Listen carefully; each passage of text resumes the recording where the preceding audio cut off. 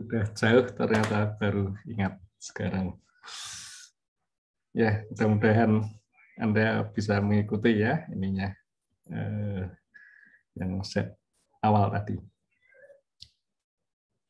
Oke. Nah, ini eh, apa namanya? gambarannya ya bagaimana pengaruh dari apa namanya? Eh, pengaruh dari ukuran ini ukuran atau dimensi dari reaktor terhadap distribusi dari uh, flux neutron ya. Ini mediumnya grafit. Uh, apa panjang difusinya adalah 54 cm koefisien difusinya adalah 0,86 cm ya. Kemudian ini kita plotkan ya uh, sebagai fungsi ya atau parameternya itu adalah a per l ya. A ini anunya apa namanya? Uh, tepi luarnya ya. Tepi luarnya ini a. Kalau a per l sama dengan satu l-nya kan 54 ini berarti di sini kita punya a a sama dengan 54 ya. kemudian ini ada a per l2 yang warna hijau ini ya ini berarti A-nya sama dengan 108 eh, cm dan seterusnya. Nah, Anda bisa melihat di sini bagaimana apa namanya eh, bentuk dari ininya, bentuk dari fungsi yang kita dapatkan, ya, solusi dari yang kita dapatkan. Ini tadi yang apa namanya yang infinite ya, A per L-nya ini infinite ya ini kan menjadi eksponen uh, negatif ya, nilainya. Kemudian yang lainnya ini adalah yang finite ya. Berarti ini kan kita punya sin h cos h ya, ini juga demikian ini juga demikian. Seperti itu. Solusinya seperti itu. Nah kita bisa melihat untuk apa namanya untuk a per l yang semakin besar ya ini nilainya akan mendekati nilai yang infinite. Ya, di bagian ujung, eh, di bagian tengah ini hampir serupa. Nah, tapi kemudian di bagian apa di bagian luar, di bagian tepinya ya ini menjadi agak berbeda karena apa ya itu karena ada eh, bocoran ya kalau mediumnya tak berhingga kan berarti tidak ada bocoran neutron. Nah kalau mediumnya berhingga berarti di situ ada eh, bocoran neutron sehingga ininya eh, distribusi flux di sekitar permukaan luar ini menjadi jauh ya, perbedaannya dengan medium yang tak berhingga besarnya seperti itu. Oke, lanjut lagi. Ini sumber titik ya, sumber titik ini untuk eh, apa namanya? Ini bola ya. Oke ini sumber titik pada pusat bola homogen yang uh, berhingga. Oh, kalau ini yang tak berhingga ya, medium homogen yang tak hingga. Ya, kita juga akan menggunakan eksponen. Kemudian untuk bola yang tak berhingga kita menggunakan sin hiperbola. Ya, Oke. Nah untuk sumber garis, ya, ini untuk medium yang tak berhingga. Ingat ini bentuknya adalah Laplasiannya adalah seperti ini ya, super R, DDR, R, DVDR. Ya, ini Laplasiannya ya, del kuadratnya. Satu dimensi, hanya ke arah R. Jadi, oh ini mediumnya tak berhingga ya. Jadi ini seakan-akan ada medium yang apa namanya besar sekali gitu ya.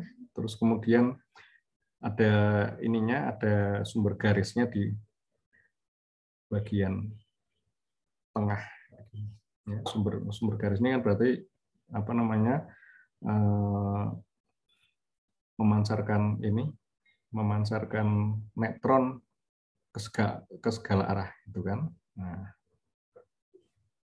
ini maksudnya dari satu titik ya kan? gambarnya susah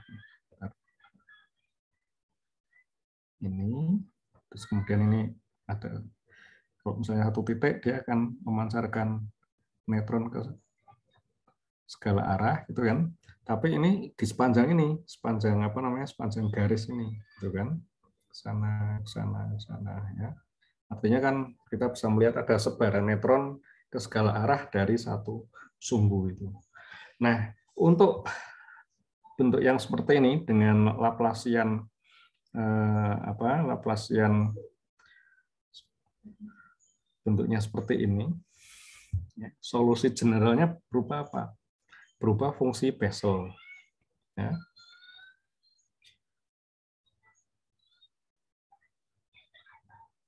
sudah sudah dapat ya fungsi Bessel ya di persamaan diferensial ya.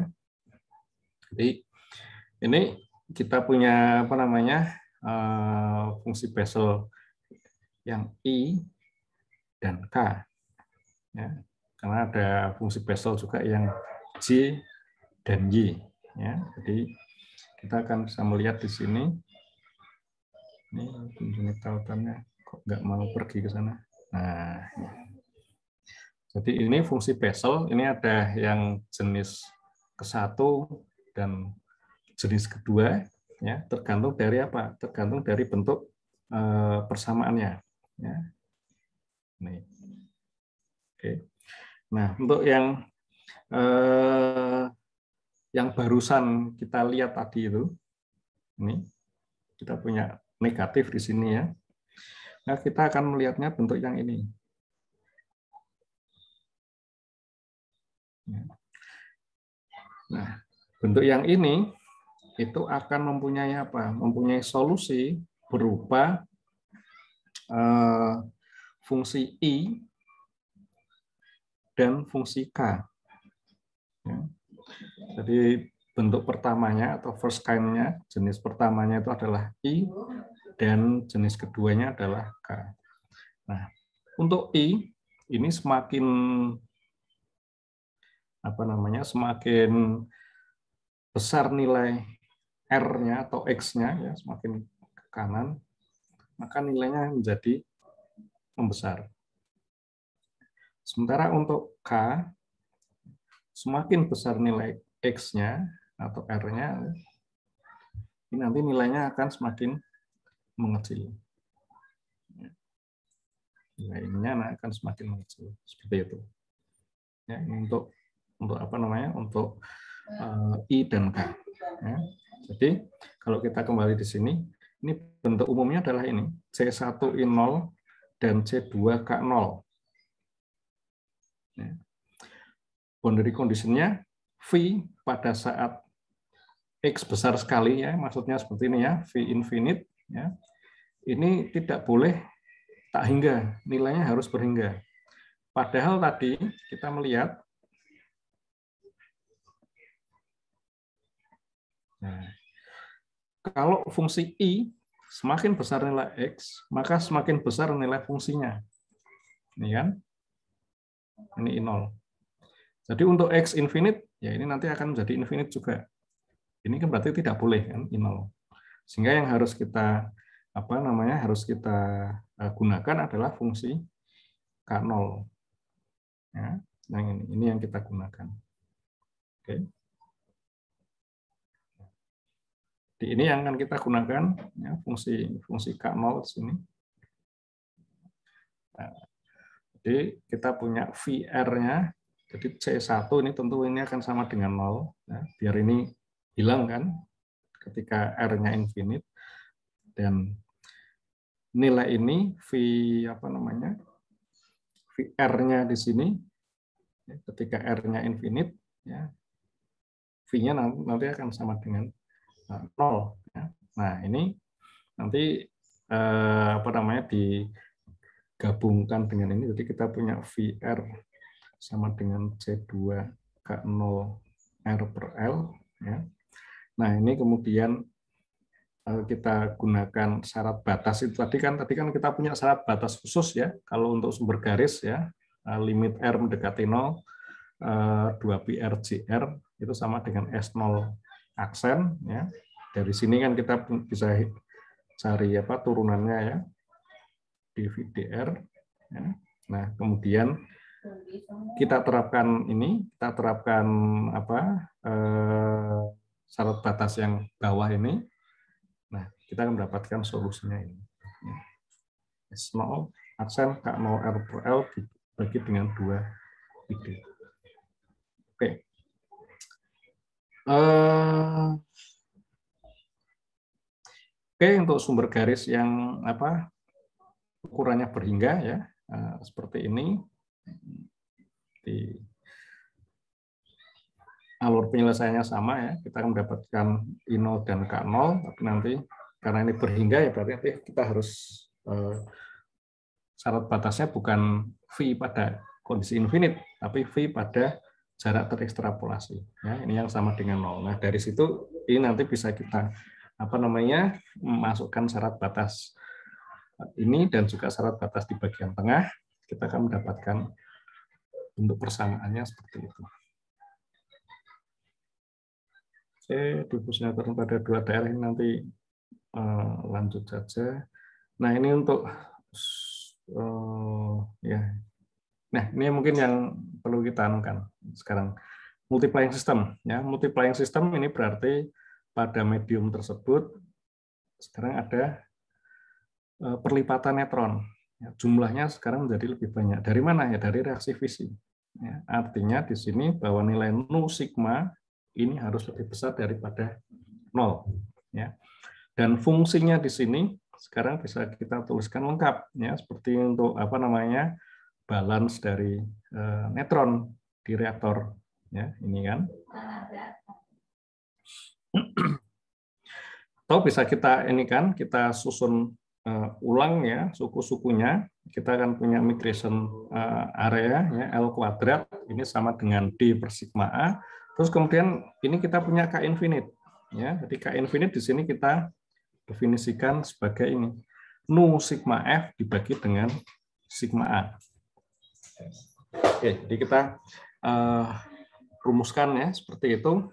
Nah, dari sini ini kan bisa kita geser ke sana. Ya, kita punya nu sigma f min sigma a ya.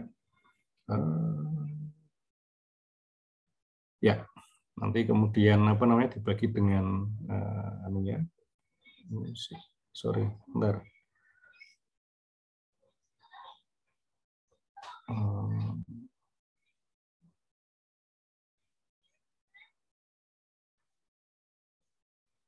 Nah, dibagi dengan anu ya, dibagi dengan apa uh, sigma A ya. Sorry, ini tidak tidak digeser ke sana. Nanti di rumusan yang lainnya yang kita geser.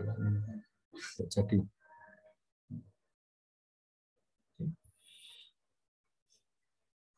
Nah, oke. Okay.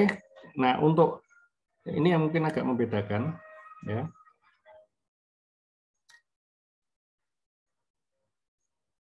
Untuk kita awali dulu ya dengan bola satu dimensi ya. Bola satu dimensi ya, berarti nanti kita akan mendapatkan bentuk persamaannya uh, seperti ini ya. Ini Laplaciannya ditambah dengan seper L kuadrat 1 min K infinite ya. Ini kan seper L kuadrat dikurangi uh, K infinite ya. 1 min K infinite ya, sama dengan S0 triple per D. Gitu kan? Nah, ini kembali ini menjadi solusi apa namanya? solusi uh, persamaan yang non homogen ya berarti kan ada dua solusi di sini untuk yang homogen atau general atau umum dan solusi untuk yang khusus atau partikuler ya solusi yang non homogen. Nah anggap di sini untuk yang solusi non homogennya eh maaf solusi umumnya ya, solusi generalnya ini bentuknya adalah seper r PCR anggap seperti ini. Nah, di sini ada dua anu, dua kasus ya. Kasus yang pertama adalah K infinite kurang daripada satu dan yang kasus yang kedua adalah K infinite lebih besar daripada eh, satu. Ya, ini kasusnya seperti itu. Kalau K infinite kurang daripada satu, ya ini kita masukkan ininya ya, eh, apa namanya, eh, bentuk solusinya, ya maka kita akan mendapatkan bentuk ini bentuk persamaannya. Nah, solusinya ini nanti akan berubah ini eksponensial ya, ditambah dengan solusi yang dari bentuk partikulernya. Ya, seperti itu. Nah, kalau kita ini kan kita apa namanya masukkan syarat batas ya ini boundary condition di bagian tengah ini harus berhingga kemudian di jarak terekstrapolasi fluxnya harus sama dengan nol, maka kita akan mendapatkan bentuk VR-nya seperti ini ya sin hiperbola. Nah, tapi sekarang kita lihat kalau K infinite-nya itu lebih besar daripada satu, nah tadi kan anu ya satu min K infinite-nya. Nah, sekarang kita punya K infinite min satu. Bentuk ininya, bentuk solusinya itu adalah seperti ini. Ya, C1 sinus BR ditambah dengan C2 eh, kosinus BR. Jadi ini bisa saja kita tuliskan dengan apa eh, D kuadrat DR kuadrat CR ya, plus apa? Plus B kuadrat CR sama dengan 0. Ini R. Kita bisa tuliskan seperti ini. Apa B kuadratnya? Ya ini, gitu kan? Ini B kuadrat. Jadi nilai B-nya apa? Ya B-nya adalah seper L akar K infinite min 1. Nah, ingat, K infinite-nya ini lebih besar daripada 1. Jadi nilainya ini positif. Ya. Jadi B ini nilai, nilainya positif. B kuadrat jelas jelas positif. Nah, solusinya ya, ini mirip seperti tadi ya. Kita akan punya bentuk ininya ya, bentuk apa namanya uh, homogen dan non homogen, solusi khusus dan solusi umum ya. Ini yang bentuk solusi khususnya, ini yang bentuk solu, eh, maaf, solusi umumnya ini adalah solusi uh, apa uh, khusus ya, gitu. Ini kan, ini kan sama saja sebenarnya dengan C1 per R ya sin apa sin BR ditambah dengan C2 per R cosinus BR. Ini bentuk yang solusi umumnya. Nah, kita terapkan syarat batas ini.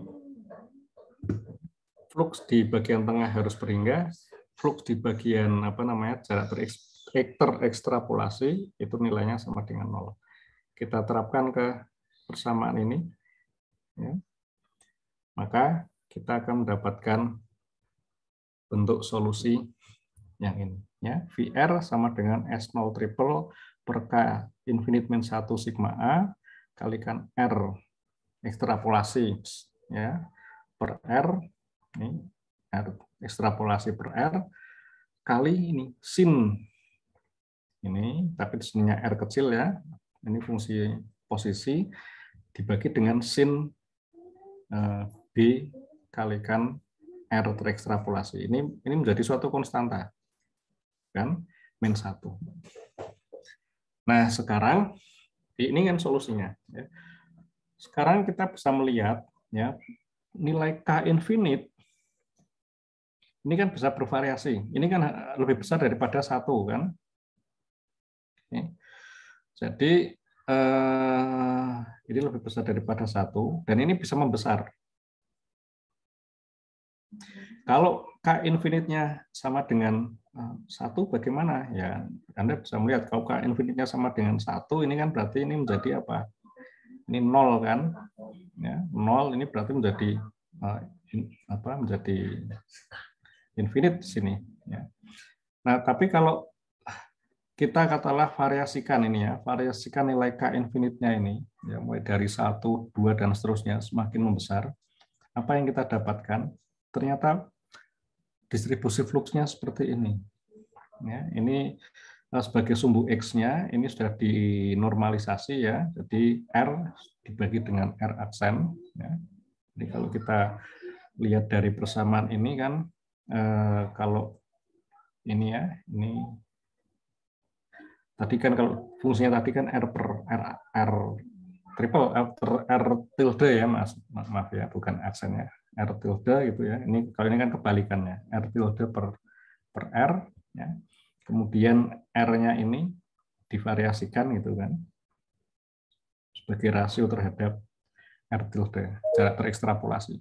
Nah, kalau K-nya ini membesar gitu, ternyata nilai fluxnya ini juga akan makin membesar juga. Ya.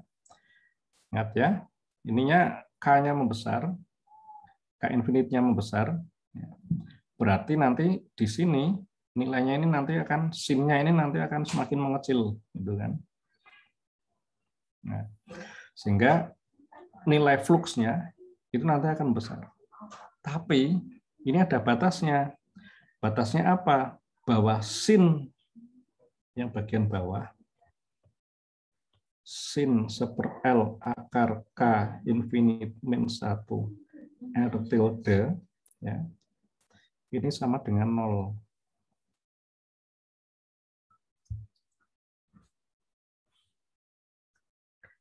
Seperti itu, fluxnya bagaimana? Infinite kan? Ya, kayak gitu kan? Kita punya ini bisa kita naikkan terus sampai dengan apa? Sampai fluxnya itu menjadi infinite. Kapan ini terjadi? Kalau sin ini sama dengan 0 atau nilai 1 per L akar K infinite min 1 R ini sama dengan pi. Nah, sin pi sama dengan 0, fluxnya menjadi infinite. Oke, itu ya. Nah, apa yang bisa kita perhatikan di sini? Ingat, kita mempunyai persamaan neutron, uh, persamaan difusi, ya, ke mana ini?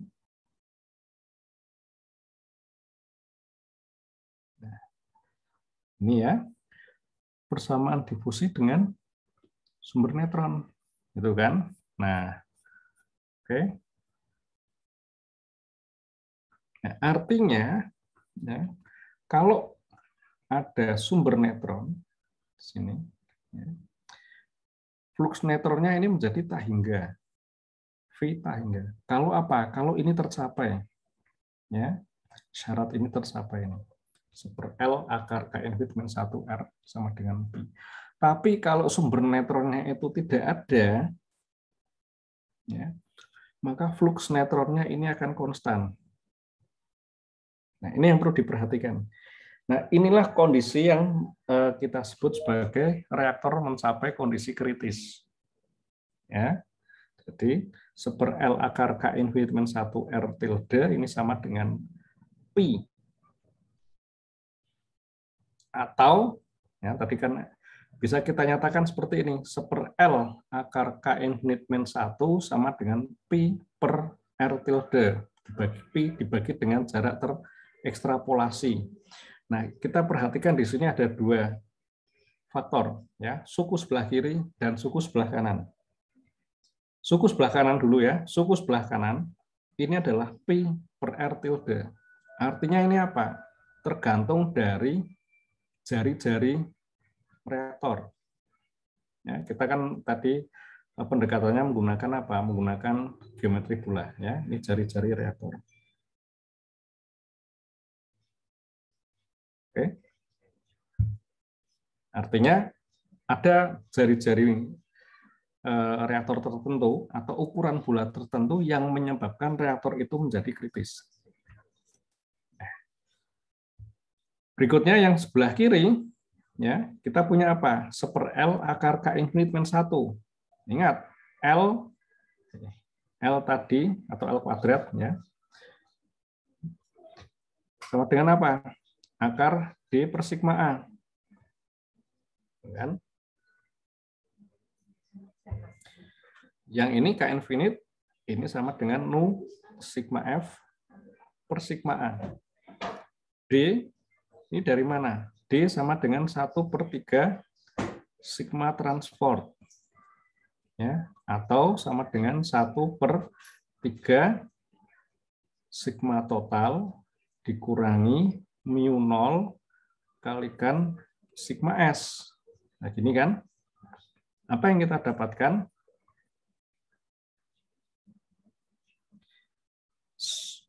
L, ini kan berarti sekarang menjadi fungsi dari apa? Sigma T, sigma S, sigma A.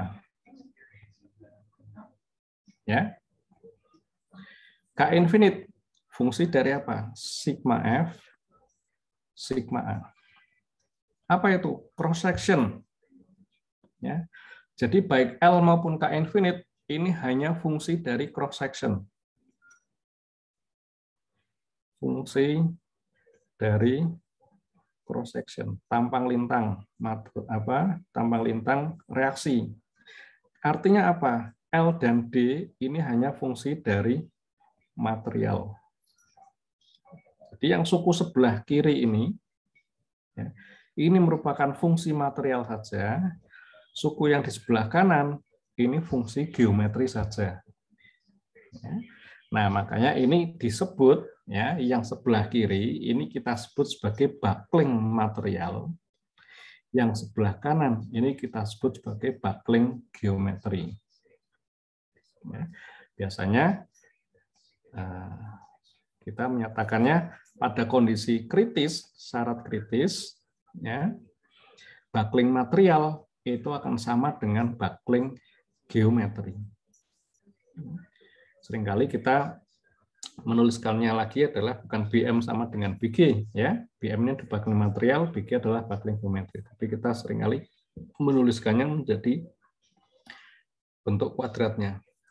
BM kuadrat sama dengan BG kuadrat. Mengapa? Karena nanti buckling geometri untuk yang dua dimensi dan tiga dimensi nanti perlu diperhitungkan. Ini kan masih satu dimensi ya. Jadi akarnya tentunya nanti akan sama. Tapi kalau misalnya dua dimensi, eh, apa namanya, x, y, z misalnya, nanti kan backlingnya kan seperti ini, kan p plus ini kan plus P per B kuadrat plus P per C kuadrat. Nah, seperti ini nanti. Jadi sering kali kita nanti menulisnya kuadratnya ya, BM kuadrat sama dengan BG kuadrat. Nah, selama nilai buckling material dan buckling geometri ini sama, ya, kita akan mendapatkan reaktor yang kritis. Artinya, kita menjumpai komposisi yang bisa menyebabkan reaktor itu kritis, dan itu harus sesuai dengan apa namanya ukuran dari reaktor yang menyebabkan reaktor tersebut kritis. Kalau buckling materialnya kurang daripada buckling geometri, reaktornya menjadi subkritis. Dan sebaliknya, kalau buckling materialnya lebih besar daripada buckling geometri, reaktornya menjadi super kritis. Ya, seperti itu. Ya. Saya kira Anda sudah paham kan ya dengan kritis, subkritis, superkritis ya. Ya, nggak perlu saya ulangi di sini. Oke, seperti itu.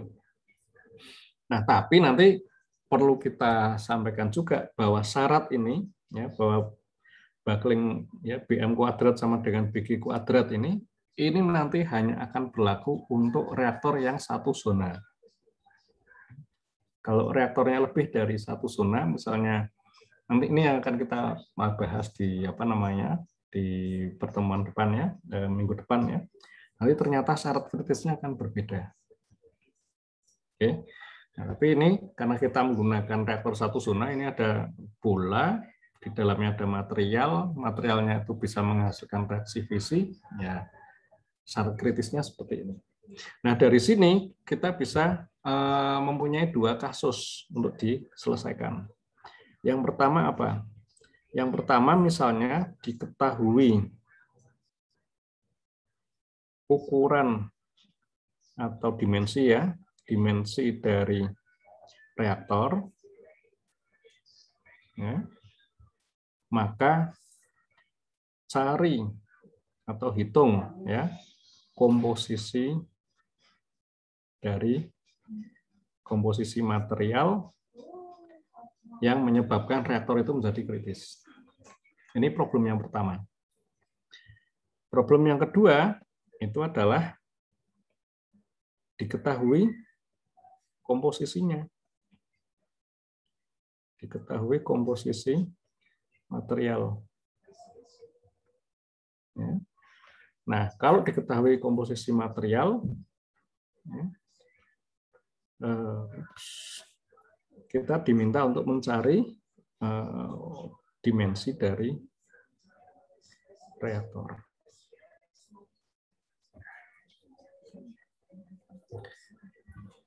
Penting ini kan harus harus fix gitu kan antara geometri dengan material harus harus match harus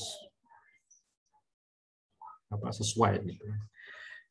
Nah problem yang kedua ya yang ini ini lebih mudah diselesaikan dibandingkan dengan yang satu. Misalkan Anda tahu ya, geomet apa eh, ininya apa komposisinya ya bahan bakarnya apa misalnya tingkat pengkayaannya eh, berapa kemudian dicampur dengan eh, material apa ya misalnya moderator ya, misalnya grafit atau air ya, gitu perbandingannya berapa antara bahan bakar dengan eh, moderator ya hitungnya langsung cepat Mengapa? Karena di sini langsung ketemu. Ya. Super L akar K infinite min 1 ini kan langsung bisa dihitung. Yang di sininya yang apa yang yang Nah, tapi yang sebaliknya ini sering kali lebih lebih apa namanya lebih susah gitu kan. Anda tahu geometrinya, misalnya reaktor saya ukurannya mempunyai diameter 1 meter. Ya. Hitung atau cari Eh, pengkayaan uranium yang diperlukan agar reaktor tersebut menjadi kritis. Nah, ini sekarang menjadi agak susah. Mengapa? Karena nanti akan misalnya akan ada campuran gitu kan. Campuran antara eh, beberapa material ada uranium, kemudian nanti ada apa moderatornya itu kan. Rasio antara uranium dengan eh, moderatornya misalnya grafit itu ada berapa. Nah, ini kan harus harus di anu harus di apa namanya harus benar-benar uh, sesuai gitu kan. Nah ini sering kali yang problem yang kedua ini sering kali harus kita harus melakukan proses iterasi. Ya. Jadi tidak langsung ketemu uh, secara ini secara apa namanya eh, dihitung langsung itu langsung ke, apa ketemu solusinya itu kadang tidak. Ya, kita harus melakukan proses uh, iterasi. Ya, kalau yang problem yang kedua, asalkan kita tahu komposisinya, langsung kita bisa cari dimensi reaktornya. Itu lebih mudah. Nah, seperti itu. Oke, ini ya lanjutannya aja ya. Ini non leakage probability, nilai kondisinya ini ya. Oke, tadi geser-geser aja ya kan sebenarnya. Ini kita punya nu sigma f per sigma a plus db kuadrat ini harus sama dengan uh, satu dan relasi antara k dengan k infinite-nya kita punya K sama dengan KIV dikalikan dengan PNL. Ya. PNL-nya ini adalah apa namanya probabilitas non leakage. Ya. Eh, kemudian K sama dengan satu, ini nilainya adalah kritis. K kurang dari satu ini subkritis dan K lebih besar daripada satu nilai eh, reaktor yang uh, superkritis. Ya seperti itu. Oke. Sehingga saja ini reaktor kritis yang tanpa sumber, oke ya. Kalau yang tadi kan dengan sumber, ya. Kalau ada sumber, reaktor kritis dia akan punya flux yang infinite. Nah sekarang reaktornya kritis, tapi tanpa sumber.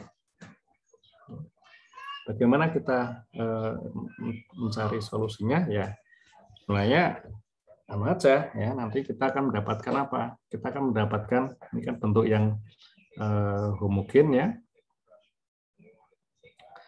Dari sini kita akan mempunyai ini lagi ya uh,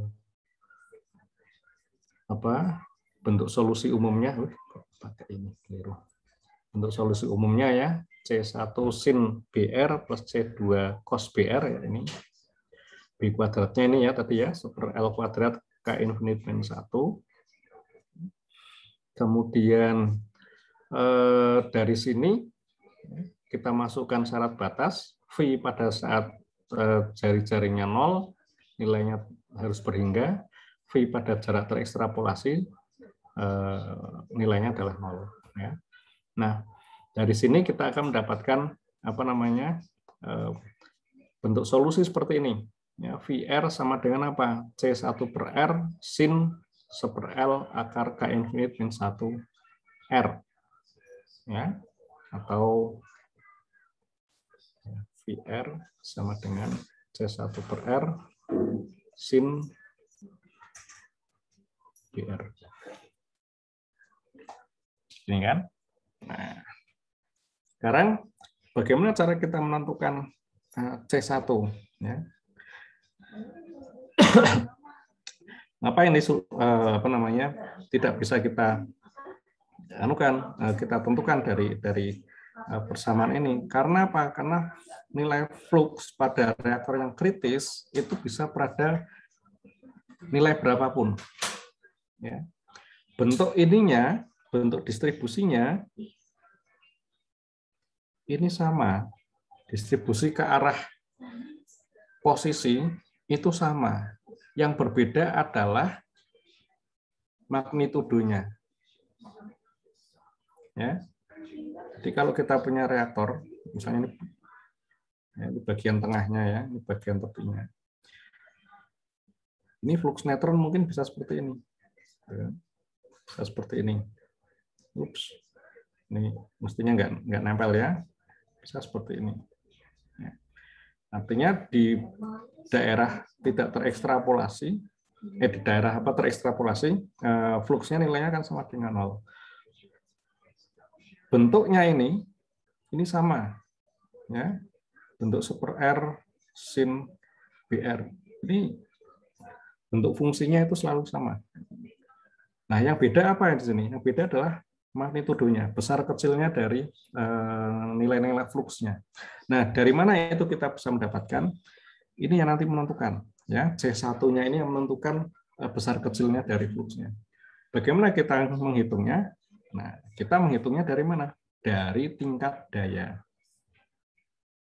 Ini tingkat daya reaktor, ini P, ini tingkat daya reaktor.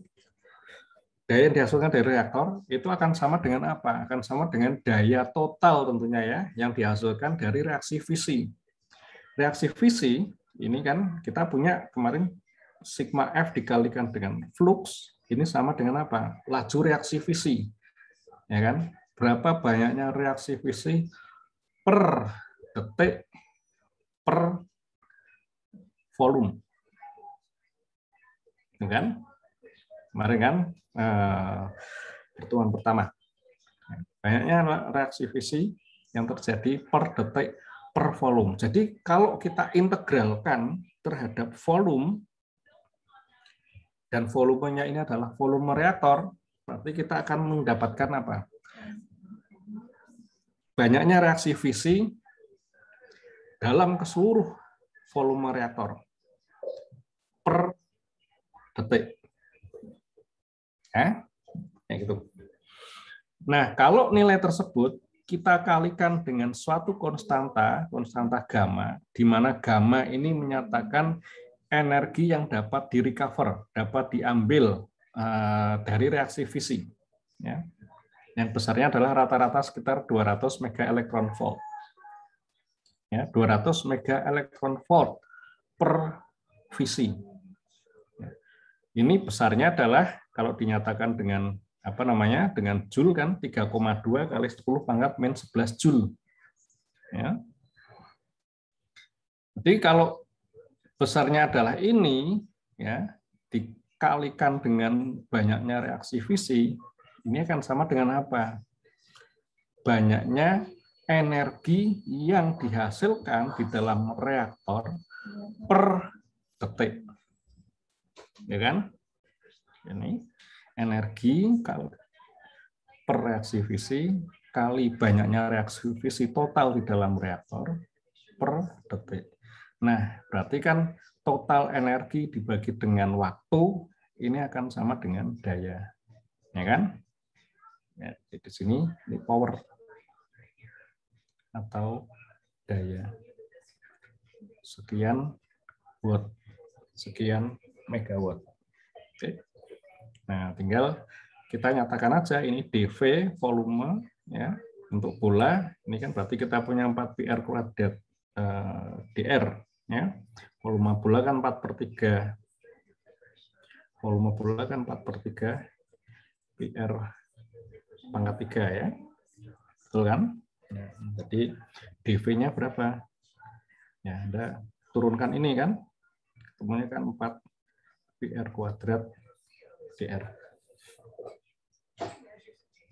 Jadi P ini akan sama dengan ini kan nilai itu 4pi eh, gamma sigma F, ya ini dikeluarkan, ya, kalikan dengan ini, R kuadrat VR, ya, V-nya ini kita substitusikan dari bentuk ini.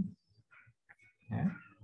Kemudian eh, apa namanya kita cari ya integralnya ya, dari R ya jari-jari 0 sampai dengan jari-jari R besar ya jari-jari reaktornya. Ya. Oke, nah, kita akan dapatkan formula seperti ini P sama dengan eh, 4pi gamma sigma F C1 R tilde per P kalikan ini ya nilai yang di dalam tanda kurung. Nah, yang kita inginkan kan C1-nya. Ya. Nilai C1 itu yang kita eh, cari untuk apa? Kita masukkan ke dalam persamaan ini. Oke. Nah, jadi hasil akhirnya adalah seperti ini. V sama dengan P dibagi dengan 4 gamma sigma F R R, R tilde sin PR dibagi dengan R dan seterusnya itu. Jadi sekarang kita bisa melihat di sini bahwa untuk mencari nilai fluxnya kita harus menentukannya dari nilai daya reaktornya. Jadi V V flux neutron itu sebanding dengan nilai P. Semakin besar flux neutron, daya reaktornya juga semakin besar atau sebaliknya ya bisa kita nyatakan ya semakin besar daya reaktornya flux neutronnya juga akan semakin besar. Nah, sekarang kalau misalnya apa namanya reaktornya itu berukuran besar, ya, maka jarak terekstrapolasinya itu menjadi kecil gitu kan seakan-akan kecil. Ya. Ini kalau apa namanya eh, ukuran reaktornya kecil gitu kan jarak terekstrapolasinya mungkin di sini. Gitu. Ingat jarak terekstrapolasi ini kan fungsi dari Z0-nya. Ya. Sorry. Eh, R tilde ini kan sama sama saja dengan R ditambah dengan Z0. Ya. R ditambah dengan berapa? 0,71 lambda transport. Nah, lambda transport ini kan material kan, tergantung materialnya gitu. Nah, kalau reaktornya besar atau kecil, ya selama materialnya itu masih sama, maka nilai Z0-nya ini ya tetap sama. Nah, jadi kalau misalnya apa namanya reaktornya itu berukuran besar, maka nilai Z0 ini bisa diabaikan terhadap nilai R. Sehingga R ini bisa kita dekati dengan R tilde ya, maksudnya kita bisa dekati dengan R untuk reaktor yang berukuran besar. Nah, kalau seperti ini, maka bentuk persamaannya menjadi lebih uh, sederhana. Ya, PR sama dengan P per 4 gamma sigma F R kuadrat sin PR per R dibagi dengan R kecil. Oke, seperti itu. Jadi urutannya adalah seperti ini ya. Anda cari ininya, Eh, bentuk persamaan eh, dasarnya, ya. kemudian kita cari eh, solusi umumnya, ya. Bentuk persamaan dasar, kemudian kita cari solusi umumnya, kemudian kita masukkan persamaan diferensial, eh apa, syarat batasnya, kemudian kita cari solusinya. Nah, setelah kita cari solusinya, baru kita cari nilai C1. Dari mana? Dari daya. Ya, dari daya ini berarti kita harus melakukan pengintegralan sigma F terhadap volume reaktor, baru kita akan mendapatkan nilai C1. C1-nya kita masukkan ke dalam persamaan solusi. Oke, urutannya seperti itu. Dan ini berlaku untuk geometri yang lain. Ya, ini untuk yang silinder, silinder ini dua dimensi, ya bentuk anunya persamaan diferensialnya seperti itu, ya kemudian nah dua dimensi kita berarti harus memisahkan menjadi dua ya eh, fluxnya kita anggap fluxnya ini bisa kita pisahkan eh, ke arah R maupun ke arah Z ya, jadi kita punya psi fungsi R dan eh, apa namanya ini chi fungsi Z ya ini chi ya kalau tulisan ininya sih CHI ya, tapi bacanya bukan C. Ya. Kalau orang apa Amerika bacanya Kai, ya. tapi kalau aslinya bacanya Khi. Ya. Mungkin ditulis menggunakan huruf Arab mungkin seperti anu ya H ya H Khi seperti ini. Oke, jadi eh, ini bisa kita pisahkan ya persamaan apa dari persamaan difusi ini kita pisahkan um, sebagai fungsi psi dan hi ya.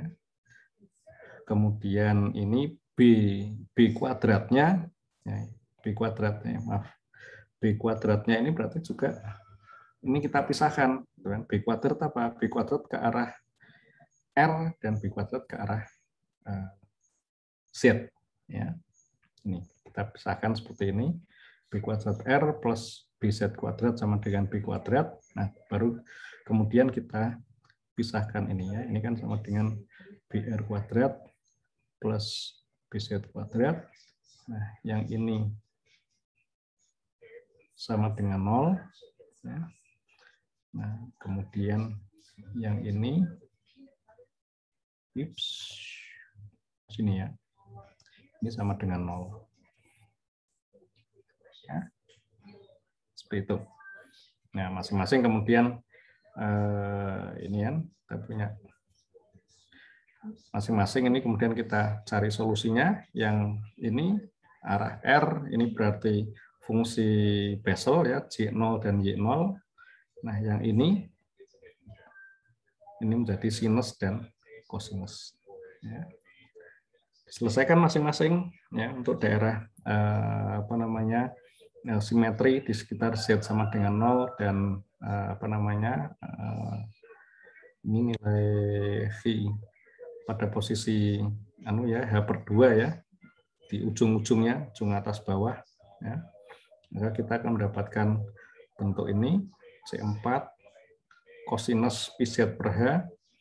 Kemudian untuk yang solusi yang pertama, nanti kita akan mendapatkan C1 J0 2,405 R tilde per R. Ya, seperti ini. Oke. Nah, terus mirip seperti tadi. Jadi kita akan mempunyai apa namanya uh, solusi umumnya. Ya ini sudah sudah kita dapatkan. Tinggal nilai C-nya ya. C itu apa? Ya, C1 kalikan C4. Ya. Kemudian itu kita cari dari mana? Ya, kita cari dari uh, daya. Ya. Nah, dari daya kita akan mendapatkan nilai mana nih?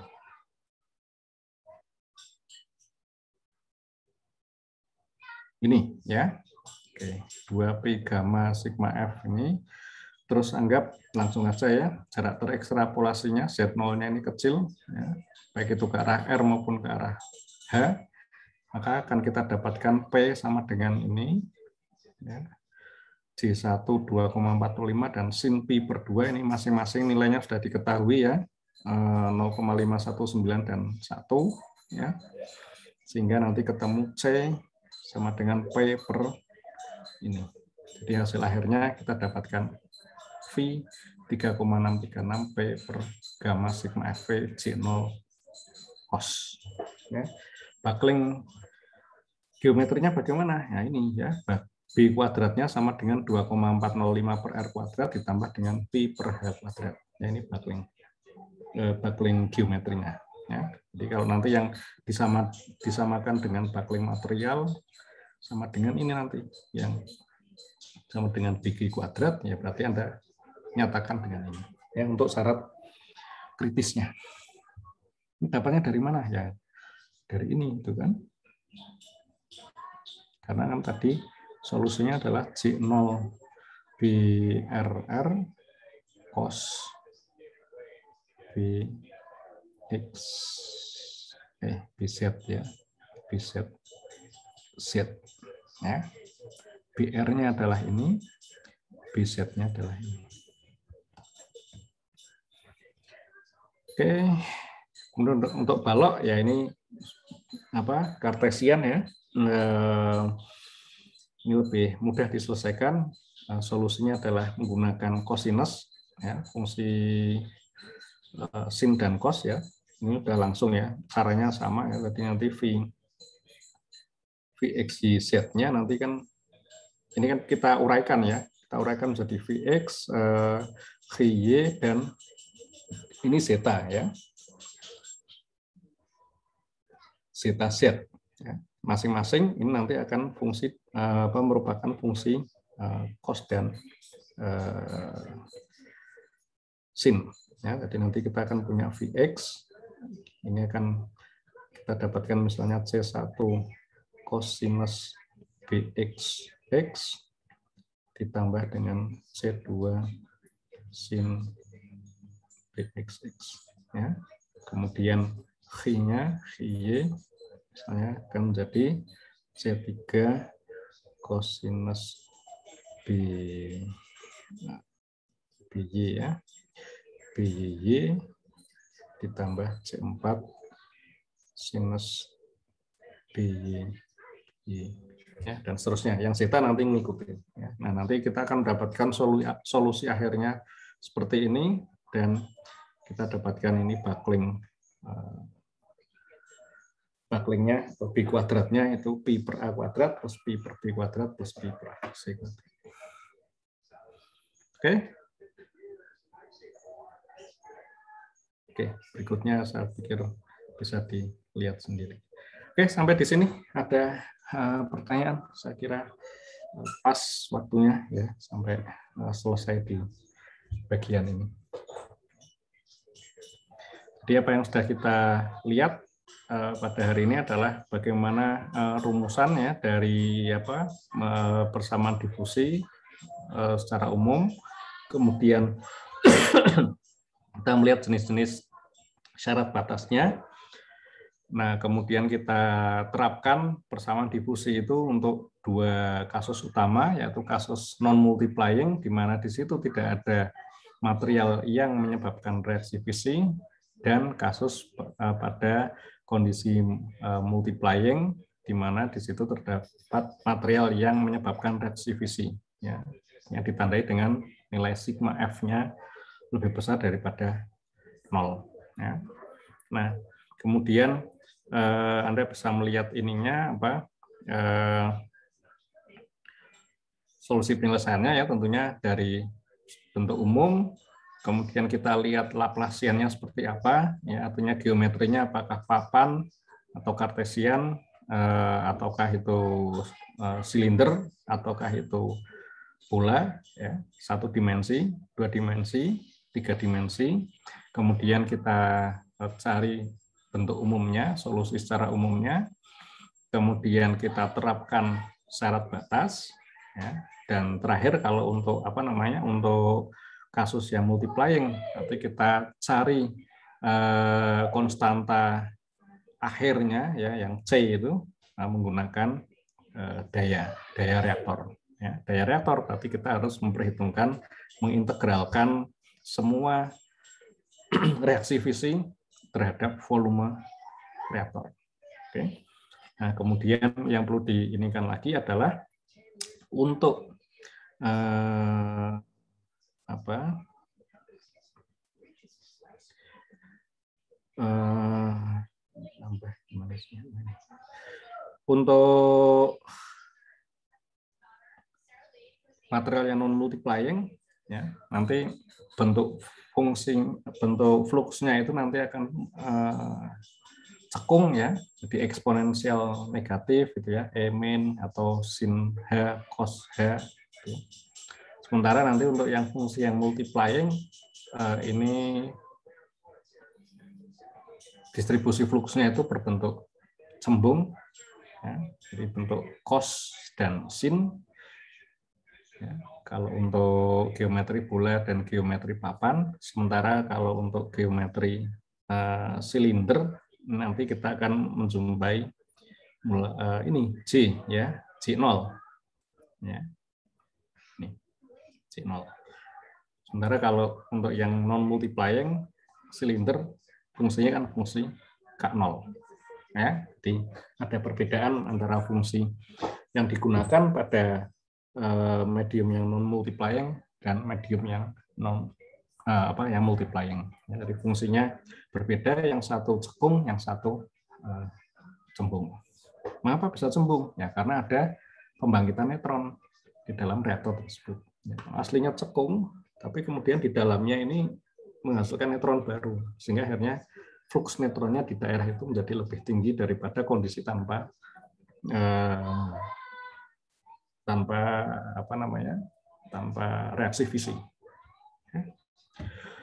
Oke, dari saya sampai di sini. Apakah ada pertanyaan?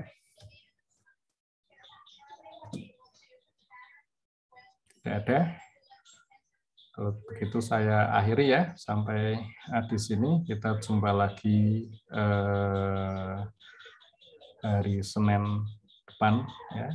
Eh, oh ya ini mohon maaf tadi lupa saya recordingnya tidak dari awal ya.